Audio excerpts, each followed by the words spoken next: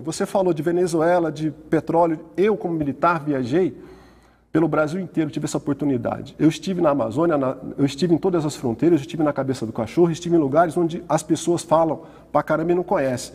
Eu estive em tribo de índia, eu estive em terra indígena, e o que eu vi foi ONG japonesa, eu vi foi inglesa, americana, fazendo biopirataria, fazendo Então, doutrinação. Você deve estar sabendo do, do, do jornalista, Eu tô é, sabendo um de dos tudo. maiores jornalistas do mundo que está lá sequestrado pelos que os militares deixaram os garimpeiros, fazendeiros, grileiros e outras pessoas destruírem a Amazônia, destruírem o povo nativo, acabar com conhece nossas a Amazônia? riquezas. Conheço, já Você conhece, lá. você já andou lá? Não, eu, já, eu conheço Destruiu? e já estive Você na conhece igual Amazônia. todo mundo, Mas igual, eu- igual o, o DiCaprio e a, e, a, e, a, e a Greta conhece? Olha, eu não acredito que essas pessoas tenham influência num, num local como aquele. Claro que não. Agora, deixar, Claro que que, deixar que tudo quanto é tipo de pessoas que não têm responsabilidade com o governo ou responsabilidade social invada a Amazônia. invadir a Amazônia? É, invadiram. Lá você não sabe disso, não. Os grandes madeireiros estão destruindo a Amazônia numa velocidade Presta que atenção. nunca houve no planeta. Acabando Você já ouviu falar da garimpando. reserva Raposa Serra do Sol? Sim, Sabe o tamanho dela?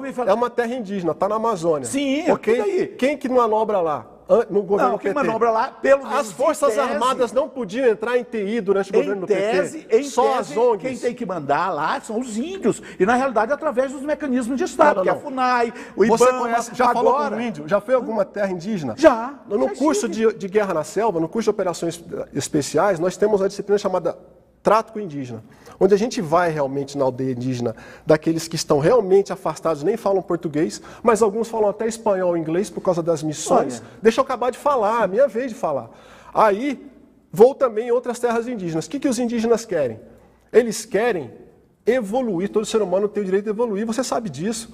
E o que impede eles de fazer? Ele quer estudar, ele quer fazer uma faculdade, ele quer trabalhar, mas alguns antropólogos passam alguns. Não, você não pode dormir na cama de box porque você tem que dormir na rede, que é tradição. Os índios querem mudar costumes, tipo o infanticídio, e o antropólogo lá da ONG diz que não, que ele tem que manter porque é tradição. Deixa eu terminar, estou terminando já. Existe a palhoça feita de, de palha. E o índio faz o quê? Ele cobre com, com, com encerado e pa- palha por quê? Porque não pode fugir a característica. O índio, uma, uma, uma cacique, uma das únicas caciques, falou, falou fala, foi o seguinte, por que, que a gente não pode, em vez de aldeia, morar em condomínios de luxo se eu, na minha terra eu posso ter dinheiro? Se Será eu que posso plantar na minha mesmo? terra? Isso é o que você diz. Não, não, não é o que eu digo, você não. chega lá como Eu um estive lá, estrangeiro eu e estive lá. Agora, o que está acontecendo Eu escutei lá, da boca olha, deles. Eu, Eu também estive na- eu também estou na periferia o Eu tempo respeito todo. o exército Sobre esse brasileiro.